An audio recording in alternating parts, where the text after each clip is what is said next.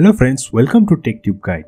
Today I will show you how to add outline in Canva design. So let's start. If you find this helpful, please subscribe. Over here I have one image with background. I want to add borders to this image. So first of all click on this image then go to edit image then scroll down and you can see here shadows. Click on see all then after that click on glow. It will take time. Then after that you can see here we are already here. Then simply we can change color to white. In this way our image has already started to look outlined.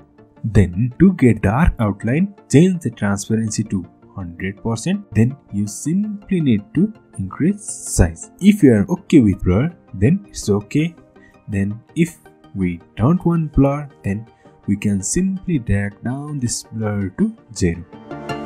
Over here we can see clear outline to our image.